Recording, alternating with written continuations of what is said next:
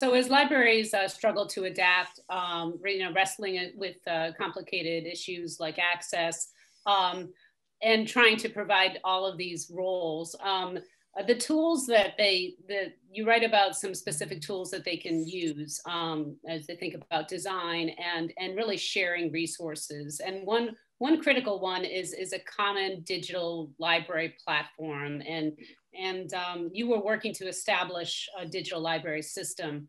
Could you tell us about that and, and kind of where it stands? I can. It's one of my favorite topics of, of all time. Um, there's a truly wonderful effort that began uh, almost 10 years ago and it was uh, individuals who just stepped up as as uh, as members of communities to say why don't we digitize materials together and make for our country a digital public library for america? Um, which is which does exist. So if you were to google right now dp.la um, or digital public library of america you can find uh, more than 40 million objects that have been chosen uh, by librarians and by archivists around the country to be part of our digital uh, library. It is an increasingly diverse digital library that uh, reflects i think increasingly our, our nation and the people who are uh, working on an amazing, amazing team, um, some of whom are in, in Chicago, but spread all around the country. And the idea is to say we don't need to digitize every library separately.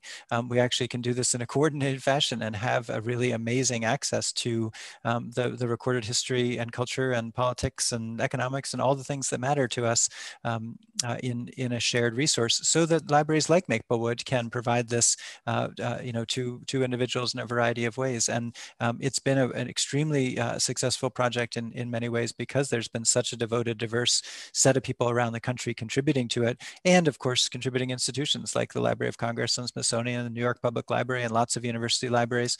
Um, and uh, it's a, a, wonderful and growing resource and one that I, I urge individuals to use and, and libraries to partner with.